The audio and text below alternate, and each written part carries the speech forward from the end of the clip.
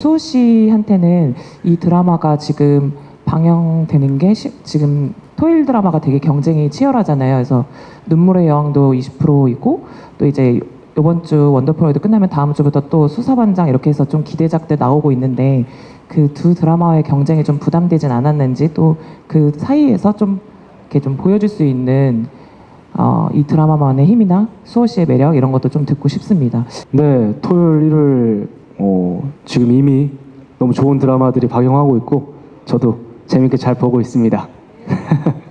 너무 재밌어요. 네, 그래서 이제 어, 대신 이제 제 바- 드라마 방영되면 이제 그 다른 드라마는 OTT로 볼 것이고 당연하죠. 예. 네, 내일부터입니다. 네, 본방사수를 꼭 MBN을 통해서 할 예정인데요.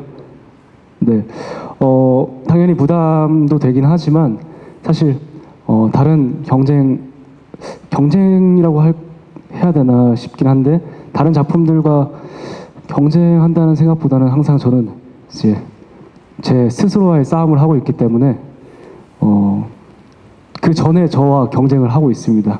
계속해서. 그래서 어, 거기에 대한 또 걱정 없는 것 같고 그리고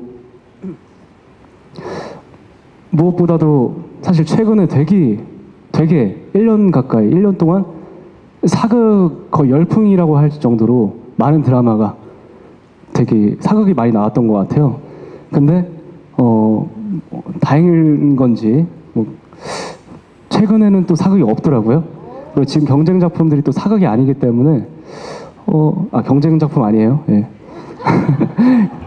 동시 동세 동 동시간 동시간대에 동시간대 방영하는 작품들이 사극이 아니기 때문에 어 그런 또 사극을 또 원하시는 그런 분들에게는 또 그게 또 충족되는 어 그런 작품이 되지 않을까 싶습니다. 그래서 되게 음, 기대가 됩니다. 감사합니다. 어, 예, 맞습니다. 사극의 틈새 공략을 우리 또 수호 배우님이 예, 노리겠다 말씀을 주셨습니다.